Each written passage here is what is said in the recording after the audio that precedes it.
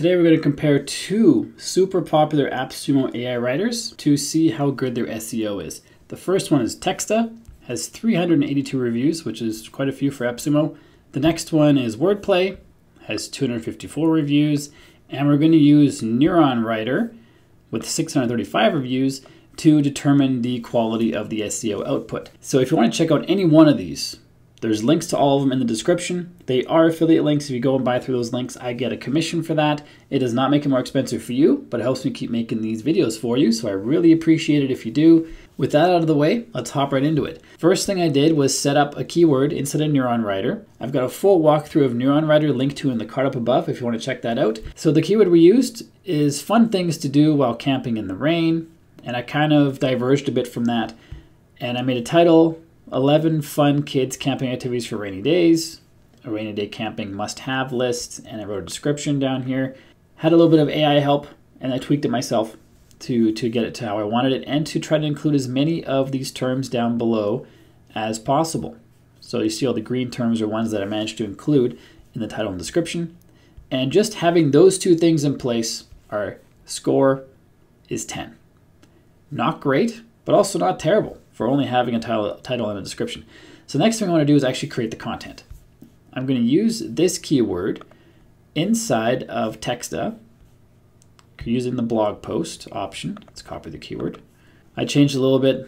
11 fun kids activities to do while camping in the rain, so it's more of a title. The voice I want to have as friendly, or the tone I should say. Um, article type is a listicle. And I'm going to go to manual so we can walk through the steps and create the best content possible. And we're going to do this again with wordplay. Then we're going to put both the results into Neuron Writer to see how they fare as far as SEO goes. Let's click on next. This will generate titles and it doesn't matter which one I choose, let's choose any one. I'm going to replace it in the next step, the blog outline step, because I already have my title. So I just want to use the one that I have. In fact, I'll come back over here and copy it.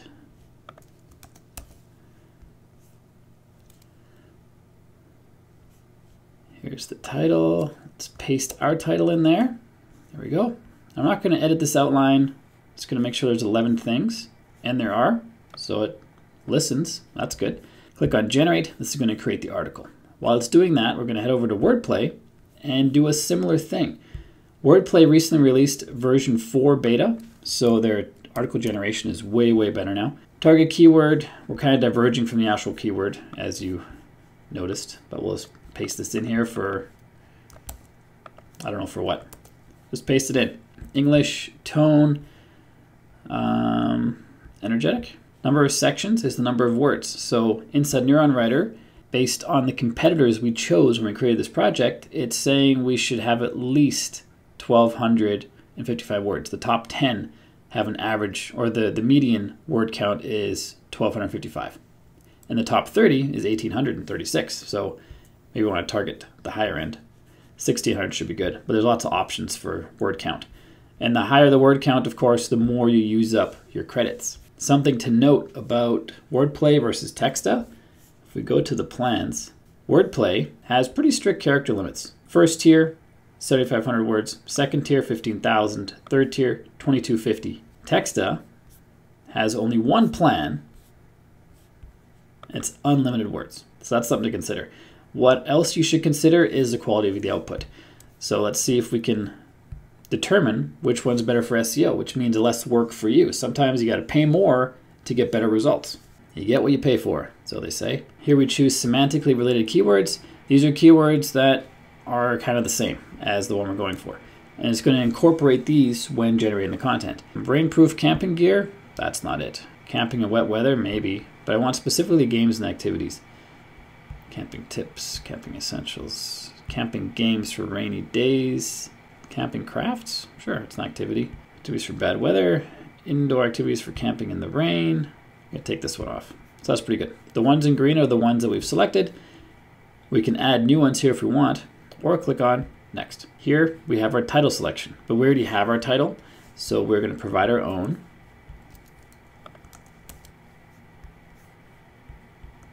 You might also find that one of these is better than the one that you wrote and you want to replace it or include certain things that are said in these titles. Click on next, generate introductions. I don't have one written. have that meta description. That could work. But you can have wordplay generate titles and descriptions for you, and it does not go towards your word count. Only the creation of the final article counts towards your word count in wordplay, the, towards the these numbers down here. So you can generate titles and descriptions all day long for free. I'm just gonna pick one, not gonna take too long. Picking any of them. You of course want to read through them and make sure they're good. Generate outlines. Here we have some outlines. You can mix and match all of these. And I asked for 11, right? Yeah, 11. And it didn't give me 11. 1, 2, 3, 4, 5, 6, 7, 8. I'm going to add all these. That's 8. I find recently these are the same. They used to be very different, the two sides. But now they're kind of the same. But karaoke's not on there. It's 9. That added. Yeah, added it right there. Rainy Day Olympics. Campsite Olympics, kind of the same. Rainy Day Science Experiments. Let's add that. It's 10. Rainy Day Puzzle Party. 11. So we have 11. We can come in here and rearrange these if we don't like the order of them. I'm not going to worry too much about that. You can add new sections as well to extend the outline. Then I'll click on Submit, article for 2200 words, because at first we chose 1600, if you recall, but we added more sections. So these outlines are based on 1600 words.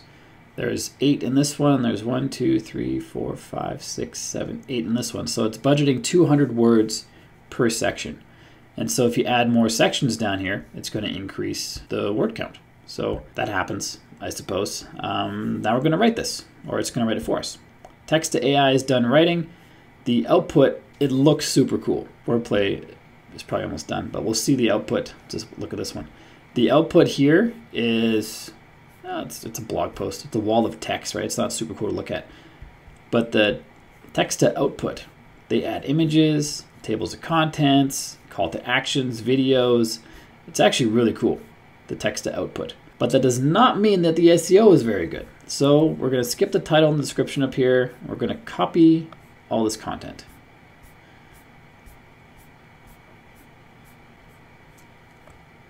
How many words is this?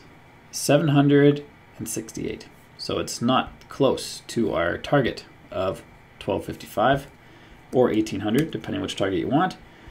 I'm going to not click on that. I want to delete it. I'm going to delete the things, all the extra stuff. But as you can see, Neuron Writer can handle all this stuff, no problem. I just don't want it in our SEO comparison because, just because, shouldn't even really affect our SEO. Get rid of that call to action. Okay, so after we got rid of all the calls to action and all the captions for the images and things, we're actually down to 583 words. Not so many and our SEO score is 21. It was 10 just with the title and description. We added 500 words of content from Texta. Now we're 21. Now remember 21. Keep that in your head because now we're going to try to increase that. Or not increase. We're going to compare to wordplay. This one we can just copy and paste. There's no cleanup required. And it's 36. It's not uh, perfect by any means, but it's pretty good. Words are at 1891, which is just a handful above our 1836 median for the top 30 rankings. And also, something weird that happens in here. Let's undo this.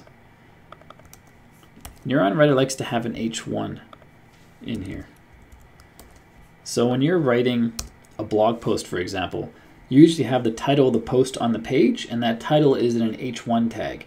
For some reason, Neuron Writer, when you put the title up here, it does not include the title as an H1 in its calculations. So we got to copy and paste the title into here, put it into an H1, and that bumps our Texta results, because I undid the pasting of the wordplay to add the title, increases it to 31.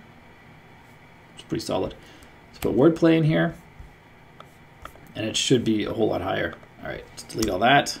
Keep our H1 paste. This is the results from wordplay. We're up to 43. And now what I've found is a good thing to do is you want to match up your terms, but focus on the extended terms. These are terms that are more long tail. And if you focus on these, you often include these ones by default. For example, rain gear. I bet we can find rain gear.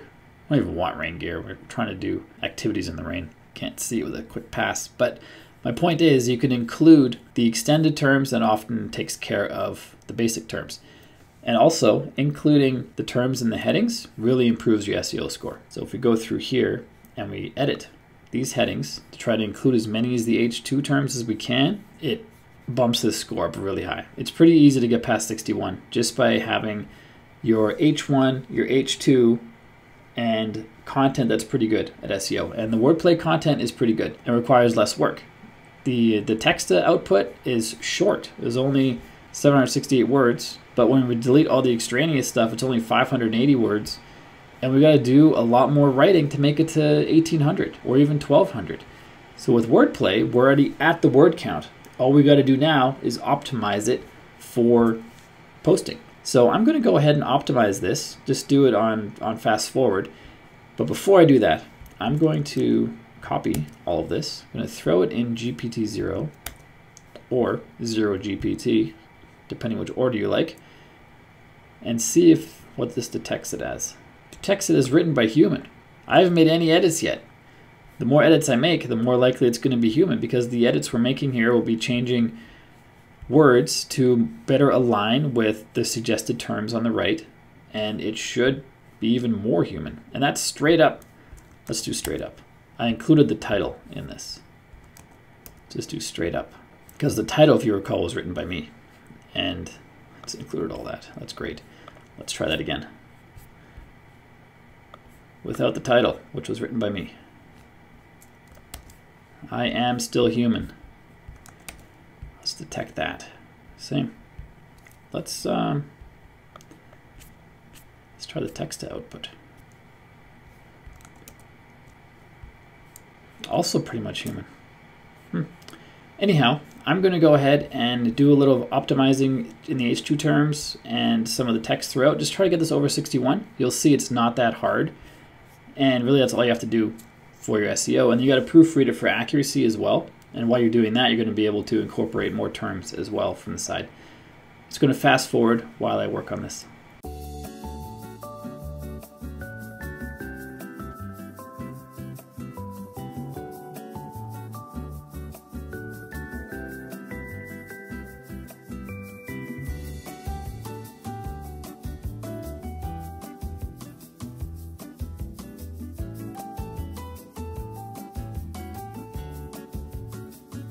So we're at 60 out of 61, and that was a lot of work.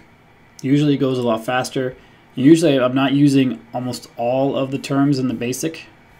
As I mentioned earlier, I'm trying to focus on the extended, and then the basic will take care of itself, but this rainy day camping one was pretty hard for some reason. So to bump us up over the threshold, I'm going to add some FAQs, which we haven't added yet. FAQs don't make sense for every article, but I think it might make sense for this. In Neuron Writer, they have AI templates as well, one of them is FAQs with unused terms. So if we click here, we have the title of our post. We have a list of unused H2 terms that it pulls in from ones we haven't used from the list we've been working on. List of unused basic terms is empty because we have them all in our post. And a list of unused extended terms pulled from our list as well. I'm going to choose um, informal, I guess, for the writing, and then write for me for generation settings, you can choose. I'll choose medium for creativity. The lower the creativity, the more high quality the writing is. The higher the creativity, the more crazy it gets. And ChatGPT 3.5 is going to make it as cheaply as possible on your AI credits. I'm going to click on Write For Me. It's going to take a minute. It's going to pop in the FAQs at the bottom of the article, and we should see a nice little bump, maybe to 65 in our little target here. So here's our FAQs. We're at 64, so a little bit higher. And then we can go and work some more on the terms that we have in here. So the reason I like to do the FAQs last is because I've gone through the article now. I've included a lot of these terms where it makes sense. I might want to do some more work to try to reduce the red ones down into yellow and into green. Not super important but might be something you want to do, especially for the longer tail ones. Like the word rainy, I don't think is that important. It's, it's a it's a blog post about rainy day activities. So if that's in the red, it's not that big of a deal. But like rainy day camping's in the yellow, I could maybe lower that. Rainy days, maybe lower that. Not a huge deal for those. But if it was long tail, if it was something like camping activities for rainy days, if that was in the red, you definitely want to reduce that one because that would lead to keyword stuffing or it could be flagged as keyword stuffing. And once I've incorporated all these all these uh, terms into the post, I then do the FAQs to try to work on stuff I couldn't easily work into the post. And that's what we generated here. And even now, I'm sure we can add some more of these. Portable DVD player. That's straight out of the 90s right there. Who still has DVDs? So I'm not going to go through anymore, but you get the idea. You just go in, add the terms, then add in the FAQs, and we are optimized higher than our competitors, which is awesome. And if we want to see more information about our optimization score here, click on it, and here it shows how we can improve it. So if we were to, adjust our title, because our title diverged a bit from fun things to do while camping in the rain, let's change, it, change this here. Fun things to do while camping in the rain. It's less click worthy, I think, but it's going to give us a big boost. We're at 75 now, and then put that in here. I'm going to be like gangbusters. Watch this. Wait for it. 86. So incorporating the exact keyword is really important for Neuron Writer.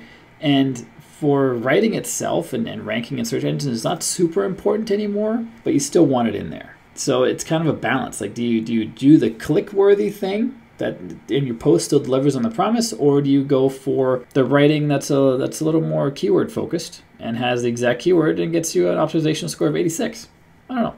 It's up to you. So this is how I'd use Neuron Writer. And this started out as a comparison between Texta uh, and Wordplay and kind of diverged into optimizing your content for SEO. But now we have this post ready to go. I would say find some pictures or take some pictures or make some pictures and publish it because we're scoring at 86 and then we'll see how it ranks over time. And if you want to check out any of these apps, they're on AppSumo, Texta AI, Wordplay, Neuron Writer. The links to all of them are in the description down below. If you check those out and you buy through that link, we get a commission. I thank you very much for doing that. It does not make it more expensive for you to do that, but AppSumo shares some of the revenue with me, which helps me keep making these videos for free. Next up, if you want to check out my videos focused on Neuron Writer, check it out right there. And down below is a video focused on wordplay. Check those two out. If you haven't done so yet, click subscribe and ring the bell so you don't miss new future videos. My name is Bjorn from Limitless LTDs. Till next time, keep crushing it and I will see you in the next video.